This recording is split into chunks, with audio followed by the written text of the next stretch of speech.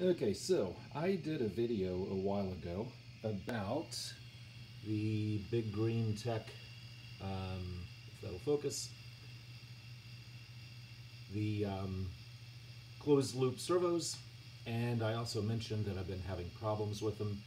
The displays have been messing up, and I finally got a fix, figured out a fix for it. Uh, also, uh, yes, I know my glass is broken. Um, I, uh, I need to get a new piece. But what I'm going to do is I'm going to show you what that display does and that glass is enough, it's big enough for uh, just a test print. So I'll show you what it does and then I'll show you the fix. So I'm just going to get a print started here.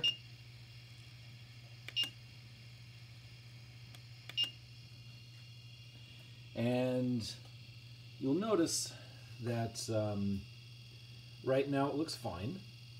You know the display looks good, but as soon as that thing starts to print, um, watch what happens. Alright, so it just started homing and there it goes. The font, the text started messing up. And it was fine for several minutes, you know, while everything is warming up and starting, but as soon as those stepper motors started moving, it started glitching. And um, as soon as it actually starts printing, uh, it'll completely go blank. There it went. went blank, flickers a little bit, and um, and the other one, you can't see it, but the Y one back there, does the exact same thing. So let me show you what the fix is, and then we'll uh, show you how it, uh, how it works after we fix it. All right, so the way we're going to fix this is with a uh, capacitor, and we'll get that to focus. Focus. This is a 35 volt, 33 microfarad capacitor. Now 35 volts is way more than enough. Uh, I'm only using this one because it's what I had. It's, I mean, I mean I have several, but it's just what I grabbed first. So I grabbed it and I tried it just by holding it onto a couple of pins and it worked. And I had a couple of them, so might as well use it. I'm sure uh, just about any capacitance value around that would work fine. You know, anywhere probably from 10 up to 50 would probably work perfectly fine. Even more or less than that would probably be fine. Uh, again, 35 volts, way more than enough. Uh, you know, 16, 12 would probably be be plenty. But what we're going to do is we are going to solder this onto the display board. And you'll notice on the display board, we have ground and power right there. Notice we have a, a ground on the capacitor. So I'm going to solder that right across there. I'll cut the leg shorter, so it'll probably be about it'll probably be about like that. So um, let me cut those legs down. I'll solder that on, and then I'll show you what it looks like after I get that fixed. All right, and that's it.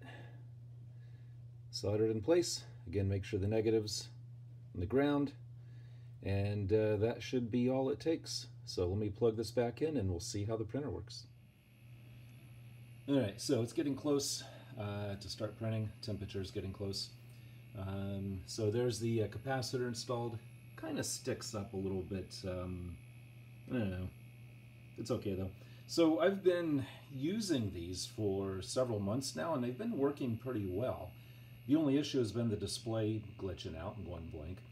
Um, now I have noticed that um, two times I had a very slight uh, print shift even with using these servos. And I'm kind of hoping that maybe it was because of the glitching of the, uh, of the display in the unit here. Um, I mean, only time will tell if, uh, if I get any more shifts because of that or not. Alright, it's starting to print here. Uh, notice no flickering, no change of the font, no glitching. It is staying, you know, exactly as it should. So, um, yeah, pretty pleased with that. So hopefully this is helpful for some of you. Um, now, when I was testing the capacitor, I was just kind of holding it there in place with my hand. uh, while it would start running. That's how I kind of knew it was going to work.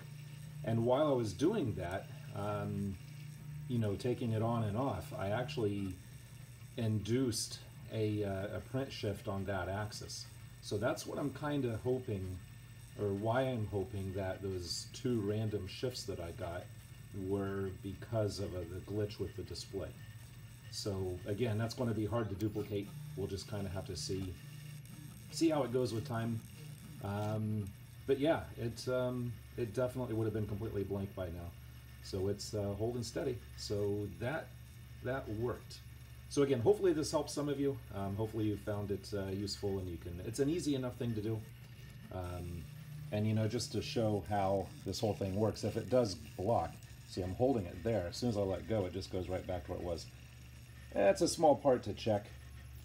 You see, it just kind of went back. I'm holding it, and it goes back. So it does work. It still works. Display works. Everything's good. Hopefully, I won't get any more print shift. Um, of course, I said that a couple of months ago too. So, anyways, I'm going to stop talking because I'm just rambling on, and this video is plenty long enough, even though it's one of my shorter ones. But anyways, as always, thanks for watching.